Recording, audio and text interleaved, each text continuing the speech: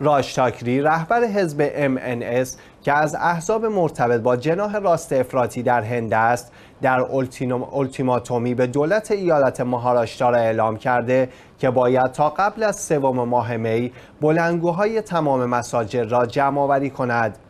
وی در یک گرد همای عمومی گفت اگر دولت ایالتی قبل از سوم می بلندگوها را از مساجد خارج نکند اعضای MNS در مقابل مساجد سرود مذهبی هندوها را پخش خواهند کرد. او افزود من مخالف هیچ نماز خواندنی نیستم اما مردم باید در محل زندگی خود به ایمان خود عمل کنند و باعث مزاحمت دیگران نشوند. به دنبال سخنرانی راشتاکری بسیار از حامیان MNS شروع به پخش سرود مذهبی هندوها جلوی مساجد کرده بودند که با دخالت پلیس پایان یافت.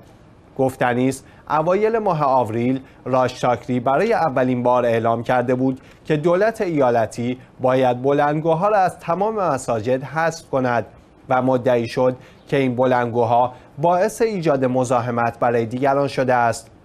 البته چنین اظهار نظرها و اقدامهایی باعث تحریک احساسات عمومی مسلمانان هند شده و بر اختلافها میان پیروان ادیان مختلف در این کشور دامن می‌زند و هندوستان را به سمت افتادن در یک جنگ تمام ایار داخلی پیش می‌برد.